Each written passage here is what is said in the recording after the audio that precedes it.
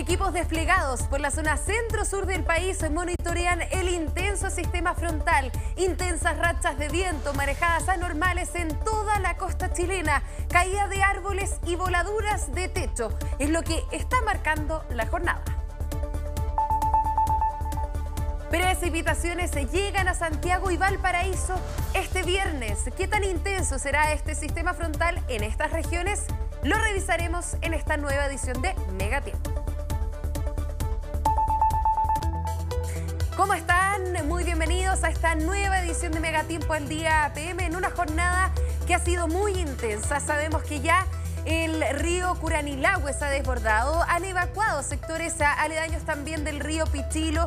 Tenemos una alerta roja en la región del Biobío debido al aumento de los caudales de los ríos. Precipitaciones que comenzaron la noche del miércoles y debido a un sistema frontal que ha dejado intensas, intensas precipitaciones. Hablamos de lluvia temporal con todas sus letras, vientos importantes de más de 100 kilómetros por hora. Precipitaciones que han dejado más de 180 milímetros de agua caída en las últimas horas, sobre todo en la provincia de Arauco. Marejadas anormales que en algunos sectores como en la costa de Talcahuano han llegado incluso a los 10 metros de altura. Es parte de lo que hemos estado enfrentando durante esta jornada de intensas precipitaciones. Ahora tenemos nuestros equipos desplegados en distintas zonas del territorio nacional, pero nos vamos a comunicar a esta hora con Diego Sangüesa, ubicado en la provincia de Arauco, donde nos puede hablar acerca de estas precipitaciones. Es tan intenso, de hecho, que las cámaras y los equipos han resultado también afectados debido a estas precipitaciones. Diego, ¿cómo estás? Adelante.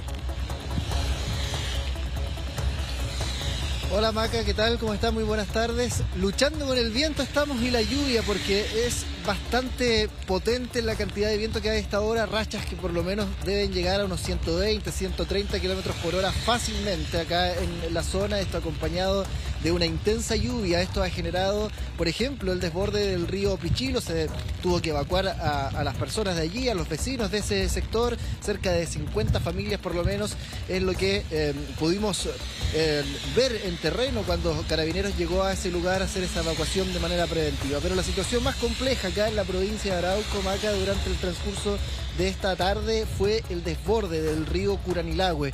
Allí varias familias se han visto afectadas, aún no hay un catastro de cuántas casas se eh, quedaron nuevamente eh, bajo el agua. Esta situación la vimos, recordemos, el pasado 12 de junio, cuando el río también se desbordó en ese punto con precipitaciones similares a las que hemos visto durante el transcurso de esta jornada. Eso sí, los vecinos nos decían que el sistema frontal de esta vez es mucho más violento en cuanto a la gran cantidad de agua que ha caído desde ayer hasta hoy, que generó el, temprana, el temprano desborde del río Curanilagua. Estuvimos allí con los vecinos y eh, fue de tal magnitud el desborde del río que se cortó el agua en la zona, se cortó la luz también en ese sector.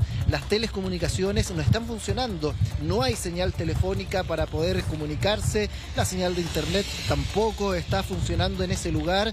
Es una situación muy compleja allí porque hay que atender una emergencia, no hay forma de comunicarse, solo los radios de carabineros, del personal de emergencia bomberos está funcionando. Nosotros estuvimos allí, tuvimos que trasladarnos ahora acá a Arauco, donde nos encontramos en este momento, para poder tener señal, para poder también contarles lo que allí estaba pasando y poder eh, mostrarles también las imágenes de lo que estaba ocurriendo eh, en esa zona. Así que una situación, eh, bueno, si, me preguntan, yo estuve ahí la, la vez pasada que se desbordó el río, esta vez es mucho más compleja porque es acompañada por estas fuertes rachas de vientos que han además acompañado con caída de árboles, en algunos sectores eh, sobre el tendido eléctrico y esto también ha hecho eh, estos cortes de luz que eh, se ha generalizado. Esta vez entonces el, corte y la, y la incomunicación es total entonces en Curanilagüe, producto del desborde del río y producto también de estas fuertes rachas de viento y la caída de árboles, voladuras de techumbres también que hemos visto durante el transcurso de esta jornada. Sería una de las zonas más complejas, de Maca, del sistema frontal que ha azotado durante la jornada de este jueves, eh, mayormente acá a la provincia de Arauco en el Biobío. Sí, sin duda, en este caso estamos hablando de un sistema frontal que ha venido acompañado además de un río atmosférico de categoría 5, siendo la 5 la más intensa, es decir, que le ha entregado mucho vapor de agua precisamente para eh, que caiga una gran cantidad de precipitaciones. Se han acumulado ya en Arauco más de 180 milímetros durante las últimas horas, en Diego, y en ese sentido preguntarte si es que las personas alcanzaron a evacuar con anticipación o eh, se sabe ya de algunas familias que a lo mejor se encuentran aisladas porque lo que ocurrió en los meses de, junio, de mayo, fue también el desborde del río Curanilagüe, donde hay muchas personas que lamentablemente ahí quedaron aisladas durante un periodo de tiempo. Entonces, en ese sentido te pregunto si es que tú crees que alcanzaron a resguardarse quizás en casas de vecinos o eh, pueden haber personas que en este momento estén incomunicadas. Hay personas que alcanzaron a salir, pudieron prever esta situación desde esta mañana, por lo menos cuando ya vieron que el caudal del río crecía considerablemente. Pero hay vecinos que no alcanzaron a salir, no pensaron que el desborde eh, se iba a, hacer nuevamente en ese lugar, no, no, pensaron tampoco que el río se iba a desbordar tan pronto, porque la vez pasada pasaron dos o tres días de varias precipitaciones para que el río se desbordara. Hoy estamos hablando que comenzó ayer a llover con intensidad en la zona y hoy se desborda inmediatamente el río. Entonces, estamos hablando de una situación quizás más compleja que la vez eh, pasada. Pudimos ver a vecinos que tuvieron que evacuar em, por sus propios medios en ese lugar y hay adultos mayores que fueron sacados en botes Zodiac de bomberos, quienes llegaron en primera instancia a acudir a esta emergencia ahí a la zona. Eso nosotros lo pudimos ver mientras estuvimos en ese lugar. Mientras ocurría toda esta emergencia, esta evacuación, se cortan, como te decía, las telecomunicaciones y también allí hay un problema mayor, porque claro, se corta la luz, no hay forma de comunicarse, los vecinos, si quieren eh, avisarle a sus familiares que quizás están en otras comunas para que los vinieran a buscar allí, tuvieran, eh, tuvieron allí una mayor complejidad en ese sentido, en poder comunicarse, y es el mayor problema que tienen ahora en cuanto a los vecinos que quieran evacuar o se quieran trasladar hasta otra comuna, por ejemplo, para poder eh, resguardarse de estos días de, de lluvia que aún quedan acá en la zona. Sí, Diego, vamos a tener que interrumpir un poquito esta comunicación entre nosotros, pero quédate eh, junto a nosotros que vamos a hablar ya eh, más ratito de vuelta, pero tenemos que dar una información muy importante. Alerta meteorológica. Senapred informa a través de su red social X por amenaza de desborde de río Andalien se solicita, escuchen bien, evacuar sectores de Puente 1 y Santa Rita en la comuna de Concepción, ahí en la región de El Biobío. Atención nuevamente, por desborde de río Andalien se solicita evacuar sectores Puente 1 y Santa Rita y en la comuna de Concepción. Estamos hablando de un anuncio que hace Senapred, ya se activó el mensaje SAE para poder alarmar a las personas para que éstas puedan de alguna manera salir de sus casas, ir hacia sectores eh, más eh, resguardados, porque sin duda estamos hablando del desborde de un río que nuevamente pone en peligro a quienes viven en sectores aledaños. Es por eso mismo que hay que acatar las indicaciones de la autoridad. Durante la evacuación también no olvidar siempre considerar a las mascotas y las necesidades eh, básicas, ¿no? Pero ojalá para que todos los que están escuchando esta hora y nos están viendo, por favor, evacúen quienes están en esa zona de la comuna de Concepción. Hablamos de la región del Biobío que ya se encuentra en alerta roja debido a los aumentos de los caudales, no solamente el Curanilagüe, donde estaba nuestro compañero Diego Sangüesa, sino que también en este momento tenemos amenaza de desborde del río Andalien y por supuesto también del río Pichilo. Son eh, dos eh, ríos que en ocasiones anteriores también han estado a punto de desbordarse. Hablamos de ríos atmosféricos que le están entregando mucho vapor de agua a sistemas frontales y que están dejando una gran cantidad de precipitaciones, suelos ya saturados que están acumulando agua y en este caso caudales de ríos que están aumentando, no solamente debido a este río atmosférico, sino que también a una isoterma cero alta, donde lo que está provocando es que en sectores donde hoy día hay nieve estén cayendo precipitaciones y en ese sentido se derrite la nieve y eh, vemos este tipo de afectaciones. Ahora, nos vamos a mover a San Pedro de la Paz, ya que tenemos a nuestro compañero Rubén Pino que se encuentra allí, donde hemos visto además árboles caídos en distintos sectores. Rubén, ¿cómo estás? Adelante. Muy buenas tardes y nuevamente desde San Pedro de la Paz, esta vez desde el sector portal de San Pedro de la Paz porque otro eh, árbol cayó acá en medio de la ruta donde pasan los habitantes de este sector portal. Como pueden ver son efectos de este sistema frontal que ingresó el día de ayer acá en la región del Biobío que está afectando con de diferentes maneras. Ya hemos visto las rachas de viento que están provocando eh, eh, el vuelo del despliegue de carteles como también de techos eh, árboles, postes, entre otras cosas. Lo que estamos viendo acá es un árbol que, como pueden ver, ya se inició trabajo, ya lo pudieron retirar desde el camino en donde estaba este em, obstruyendo el paso de los conductores. Sin embargo, es algo que se está repitiendo mucho dentro de esta comuna en específico, San Pedro de la Paz, porque ya son tres árboles que hemos registrado que han provocado el deterioro de casas como también del, del alumbrado público. Sí, sin duda hay que estar muy atentos también a estos vientos. Sabemos que han sido muy intensos en esa zona del territorio nacional. Rubén, cuéntanos, eh, ¿cuántas personas en este momento se podrían encontrar sin suministro eléctrico? Porque sabemos que la caída de estos árboles muchas veces pasa a llevar postes de electricidad y me preocupa sobre todo considerando que hay personas electrodependientes que necesitan de este recurso para poder eh, mantener su salud. Entonces, ¿hay algún eh, catastro de personas que a lo mejor se hayan quedado, en este caso, sin luz en esa zona? Mira, de momento no, no nos han dado información oficial de un catastro de las personas sin luz, pero el servicio de Coronel, por ejemplo, la calle principal de Coronel estaría sin suministro eléctrico, como también los semáforos. Pero te tengo una información de último minuto porque estoy acá con una vecina, no sé si el camarógrafo se puede acercar para que podamos ver, que me quiere dar una información. Cuénteme, ¿cuál es su nombre? Hola Margarita. Margarita, señora Margarita, ¿qué es lo que sucede? Es que, mire, lo que pasa es que ando tratando de buscar bomberos o alguien porque donde nosotros vivimos está que se cae un poste. O sea, perdón, un, árbol. Entonces aquí tengo el, el, video. ¿En dónde vive usted? El lago Riñigüe. Y el árbol es tan grande que se va a caer sobre unas casas y no hayamos que hacer. Los vecinos estamos cansados de llamar a bomberos. Dicen que no están colapsados. ¿Puede darnos las indicaciones exactas para que si es que están viendo acá mega tiempo puedan llegar hasta allá? Sí, mire, esto es Avenida Los Lagos, el lago Riñigüe, esto está a mano izquierda.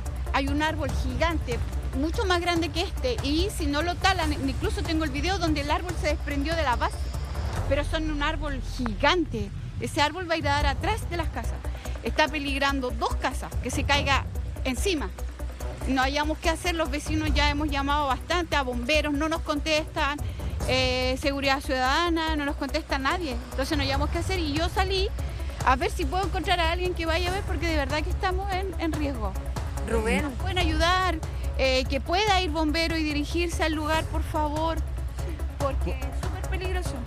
Bueno, ahí como pueden escuchar una vecina que está haciendo el llamado hacia la calle Lago. Lago Riñigüe. Lago Riñigüe, que un árbol estaría a punto de caer nuevamente acá en el sector, la comuna de San Pedro de La Paz. Sí, Rubén, en este sentido me gustaría que le preguntaras a Margarita eh, dos cosas. Por una parte, si es que junto a los vecinos pueden moverse hacia otra localidad para intentar resguardar su seguridad, porque sabemos que si es que ese árbol efectivamente cae sobre las viviendas ahí, corren peligro. Entonces, por una parte, ¿qué protocolo van a realizar, sobre todo considerando que los bomberos en este caso están colapsados? Sí, señora Margarita, señora Margarita me está mostrando un video además y en esto mientras lo mostramos a la cámara aprovecho de preguntarle si es que los vecinos ya están evacuando el lugar. No, mm, los vecinos están ahí mismo, estamos ahí y este es un video y este es el otro. Mire, mire cómo se levanta el piso de la base del árbol. Ese es el árbol. Y al ver ustedes se fija que se levanta con el viento y cada vez que el viento es más fuerte se levanta mucho más. Las casas es la casa que está ahí y la casa que está al costado. Y hay un pan, esto de panel solar, el árbol va, a dar justo con eso y lo va a botar todo para allá. ¿Me puedes repetir la dirección para que puedan llegar hasta allá? El lago Riñigüe. Avenida Los Lagos con lago Riñigüe. Avenida, Avenida Los Lagos con Lago Riñigüe nos informa acá la vecina Margarita de San Pedro de la Paz que al parecer un árbol estaría a punto de caer sobre casas afectando directamente a los vecinos. Yo sé que es medio complicado, Rubén, esta situación, pero claramente ahí, ojalá hacerle el llamado a Margarita para que tomen todo tipo de resguardo. Si las autoridades no se pueden trasladar eh, con, eh, digamos, de alguna manera rápida hacia ese sector, obviamente intentar sin duda eh, buscar otra solución para evitar cualquier situación de peligro, porque sabemos que efectivamente si es que tenemos vientos importantes puede generar ahí distintas complicaciones. Rubén, te voy a dejar un momento porque vamos a ir con nuestro compañero Ignacio Beltrán. También hay complicaciones ahí debido a caído de árboles. Ignacio, ¿cómo estás? Cuéntanos de todas maneras qué es lo que está sucediendo. ¿Dónde estás? Hola Maca, ¿cómo te va? Estamos en la ciudad de Temuco y con un paisaje, un escenario que tenemos acá en la avenida Alemania junto a la avenida Andes de otro árbol caído. Eh, ya son cerca de 30, 40 los árboles que han caído durante esta jornada en distintos puntos de la ciudad de Temuco a causa del fuerte viento que ha alcanzado los 85 kilómetros por hora, pero también eh, hay rachas también que son un poco más fuertes, que superan los 100 kilómetros por hora. Aquí eh, este temporal, este sistema frontal eh, ha traído mucha agua, pero la ciudad está preparada precisamente para el tema del agua. pero no así con el viento, porque esto ha traído varias complicaciones en la ciudad de Temuco, también en el resto de la región, con techumbres que eh, se han salido de cuajo a raíz eh, del viento, provocando también el peligro para los transeúntes, para la gente que transitan por las calles y también los automovilistas. Por ejemplo, hoy día veíamos en plena plaza de armas de Temuco, donde se encuentra la catedral, que un ventanal eh, voló por el aire cayendo sobre el parabrisa de un vehículo. Lo mismo hemos visto, por ejemplo, con eh, el techo del público en el estadio Germán Becker. Esto es una, una lona de alta resistencia que no soportó los fuertes vientos registrados en la ciudad de Temuco. Hay universidades que se han visto también eh, afectadas. Eh, la mayoría de los colegios eh, tuvieron que cancelar las clases tanto para el día de hoy como también para el día de mañana. Y el otro problema, el gran problema que tiene la ciudad es que eh, gran parte de la ciudad se encuentra sin suministro eléctrico. Solo en Temuco son 38 mil hogares que están sin suministro eléctrico. En toda la región, según eh, cifras que entregaba el SEC y que va actualizando minuto a minuto, son 208 mil hogares que están sin el suministro eléctrico. Por lo tanto, esta noche va a ser una noche a ciegas, digámoslo así, una oscura noche para la ciudad, porque están trabajando todas las cuadrillas de las distintas empresas eléctricas, pero no dan abasto para tanto corte, principalmente por la caída de árboles sobre el tendido eléctrico, por eh, también estas latas de las techumbres que también han caído sobre el tendido eléctrico, provocando eh, lo que eh, de alguna manera ha pasado durante todo este día, que es el corte del suministro eléctrico. Aquí precisamente estamos en una sucursal del Banco Estado. Y esta sucursal, lo decíamos, está en la avenida Alemania, en el sector poniente de Temuco, con eh, la avenida Andes. el, que es de Temuco lo va a reconocer de inmediato. Obviamente, por el horario, el banco está cerrado, pero también a esta hora, por ejemplo, están cerrados los cajeros automáticos, producto del peligro de este gigantesco árbol. Debe tener por lo menos unos 70, 80 centímetros de diámetro el tronco principal y que ha sido la tónica. Han salido de cuajo. Eh, lo blando que está el terreno, producto también de la lluvia, acompañado del fuerte viento, ha provocado esto. Aquí, por ejemplo, en la Avenida Alemania contamos cuatro o cinco árboles que se han caído en las distintas plazas de la ciudad también. Otros árboles han caído sobre casas. Es la complicación que se ha vivido eh, durante esta jornada, también afectando el comercio y una calle que es altamente transitada eh, a esta hora. Eh, se ve con muy poco flujo, producto que la gente también se está resguardando eh, y ha tomado las providencias del caso para no sufrir ningún tipo de lesión. Macarena. Sí, eso es muy importante, que las personas tomen todos los resguardos posibles, sobre todo considerando que las autoridades están bastante colapsadas, intentando ahí ayudar a quienes no tienen suministro eléctrico. Eh, y viendo distintas opciones, sobre todo considerando ahí los árboles que se han caído en las rutas y que muchas veces complican el tránsito vehicular. Ignacio, te damos las gracias, te dejamos ahí eh, conectados, en cualquier momento volvemos contigo. Vamos de inmediato con Mauricio Hidalgo que se encuentra en Talcahuano, donde, por cierto, ah, hemos tenido amarejadas anormales que han llegado incluso algunas a una altura de 10 metros, esto a 13 kilómetros, em, a 13 más o menos kilómetros, sí, cerca de la costa. En ese sentido, queremos saber lo que está ocurriendo en esta zona en particular. Mauricio, ¿cómo estás? Bienvenido a Megatiempo también. Sí, hola, ¿cómo estás Macarena? Mira, nosotros estamos acá en el borde costero, estamos en el sector de La Poza, acá en Talcahuano, y se puede ver porque, mira, si podemos ver un poco allá la rompiente de la ola, y es bastante inusual esto, ¿por qué? Porque este es un sector bastante tranquilo, el, mar en este punto está bastante calmo, de hecho, ahí donde está la rompiente, eh, generalmente están las, eh, las embarcaciones de los, de los mismos eh, pescadores que llegan hasta este punto, se fondían ahí y bajan, y este es el sector del terminal pesquero, entonces acá es donde generalmente está tranquilo, pero finalmente ahora hay bastante movimiento del mar, si se puede ver, y tú decías, la ola un poco más mar adentro llega aproximadamente unos em, aproximadamente unos 10 em, metros como tú como tú decías. Mira nos vamos a, vamos a caminar un poco por este punto para para que ustedes vean también lo que lo que está pasando en este en este lugar eh, hay bastante movimiento.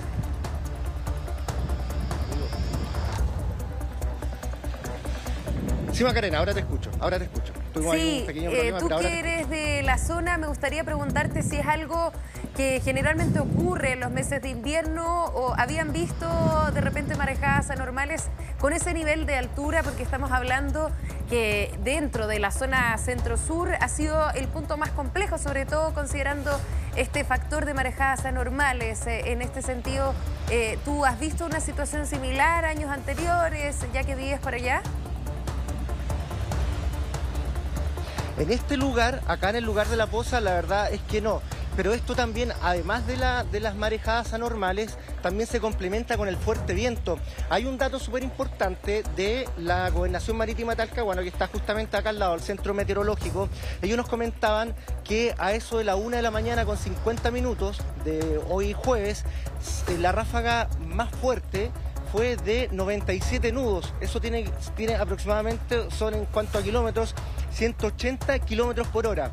Eso ocurrió acá eh, en el faro, la medición en el faro de la isla Quiriquina, que está justamente frente donde estamos nosotros. Entonces, para que ustedes dimensionen, el fuerte viento también a las eh, marejadas anormales, hace también de que el, mar en este punto se, eh, mueva bastante. Yo le decía a Macarena que en este lugar generalmente el mar está calmo, es bastante tranquilo, porque es eh, La Poza, es donde se concentra toda la bahía de Concepción, el sector de La Poza, es donde está el terminal pesquero. Acá llegan las embarcaciones menores incluso a fondearse, llegan los pescadores con sus productos y eh, es bastante calmo, bastante tranquilo. Por el otro lado está la Puerta de los Leones, está la base naval.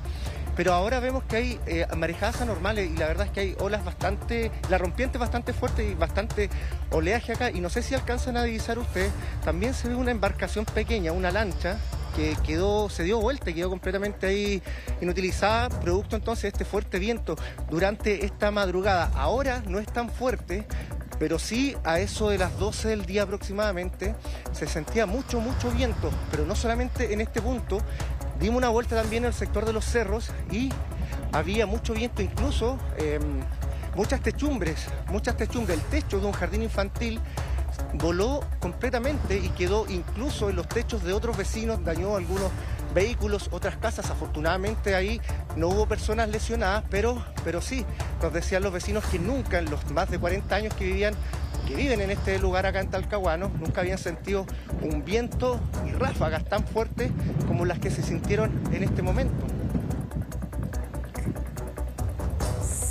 Sí, Mauricio, ¿me escuchas? Vamos de inmediato Sí, en este escucho. momento, Mauricio, vamos a interrumpir un poquito este móvil, ya que tenemos información de último minuto desde San Antonio debido a los fuertes vientos, marejadas que han ocurrido en ese sector. De hecho, pasemos a revisar este video para que lo vean ustedes con sus propios ojos. Vientos de hasta 66 kilómetros por hora han derrotado. Hay una escultura que lamentablemente ha caído al suelo. Afortunadamente no había ninguna persona, digamos, eh, debajo de ese, mm, de ese sector cerca del el kiosco que hay ahí, pero eh, al costado derecho había una persona que iba caminando y justamente, eh, afortunadamente estaba un poco más lejos de la escultura donde lamentablemente ahí se cayó.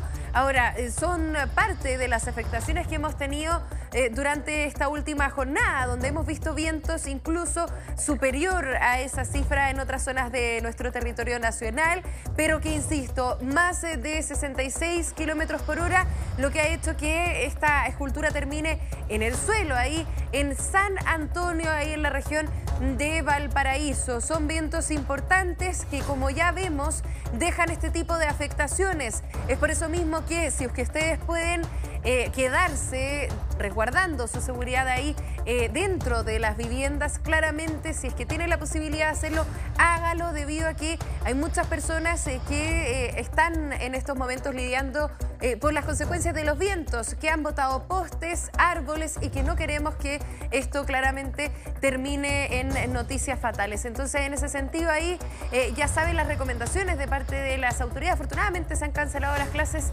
en gran parte de la zona sur de nuestro país. Mauricio, volvemos contigo de inmediato desde Talcahuano para que puedas continuar ahí con tu relato acerca de estas marejadas anormales y también de los fuertes vientos, ráfagas de más de 100 kilómetros por hora que se han registrado en esa zona. Claro, esa, esa marca de más de 100 kilómetros por hora es en el centro meteorológico de Carriel Sur, esto en Talcahuano, ya en tierra, pero yo te comentaba el dato, esto que nos dieron desde la Gobernación Marítima en Talcahuano, de este punto, esta medición que se hizo a la, a las, a la 1 con 40 minutos de esta madrugada en el faro de la isla Quiriquina, que está justamente frente a donde estamos nosotros, que se registraron ráfagas de 97 nudos, que eso es aproximadamente unos 180 kilómetros por hora. Entonces las ráfagas eran bastante, bastante fuertes, claro, están un poco mar, mar adentro, pero sin duda que también llegan acá a la costa y principalmente a Talcahuano. La medición que está de so- sobre los 100 kilómetros por hora está en el Carriel Sur, pero eso está ya un poco más alejado de este sector de La Poza y el sector de los cerros, que yo les decía que durante esta mañana estuvimos recorriendo gran parte de estos lugares y ahí los vecinos nos decían de que había mucho, se sentía mucho, mucho viento y la verdad es que cayeron muchos techos, muchos árboles también. Estuvimos nosotros haciendo el vivo para el alerta y también para el matinal, para el mucho gusto, en el canal Ifarle, una población que está a unos eh, 8 kilómetros de este punto. La verdad es que el viento era muy, muy fuerte y claro, y coincidía la hora, aproximadamente las 12 horas, que fue cuando cayeron los techos, estas techumbres gigantes, ahí en el sector de los cerros. Y ahora, en este punto donde estamos, en el sector de la Poza, también era para ver para, para, para ejemplificar lo que es el viento, no sé si ustedes sienten también el ambiente Macarena, pero también hay varias embarcaciones que hicieron agua, que por ejemplo esas dos que estamos viendo en este momento, que es la esta azul y esta embarcación, esta lancha también amarilla, que quedaron completamente eh, inundadas, no se, no, no, se, no se fueron a pique, pero sí están completamente inundadas y por el otro lado también vemos otra embarcación más pequeña eh, que, se, que se volcó, que se dio vuelta, también una lancha de las mismas características. Entonces eso también da cuenta del fuerte oleaje que hubo durante la madrugada, durante la mañana y también del fuerte viento. Sí, entiendo que lo más intenso ha sido los vientos, las marejadas en esa zona del territorio nacional. Han acumulado durante las últimas horas ya cerca de 50 milímetros, que sabemos que eh, en esa zona del centro norte, centro sur, quiero decir, de nuestro país, es una cifra eh, no muy abundante, digamos, pero sin duda hay que estar muy atentos a los vientos y a las marejadas, sobre todo ahí en Talcahuano. Mauricio, muchas gracias por ese completo informe. Nosotros ya hemos terminado eh, con el despliegue en terreno con nuestros compañeros que están en distintas zonas, pero sin duda vamos a continuar con estas ediciones aquí en Megatiempo. Eh, más rato vamos con los pronósticos eh, y eh, vamos a seguir monitoreando un sistema frontal que va a ir avanzando y que nos va a dejar precipitaciones en, en la región metropolitana y en otras zonas del país este viernes. Vamos a una pequeña pausa entonces y ya volvemos.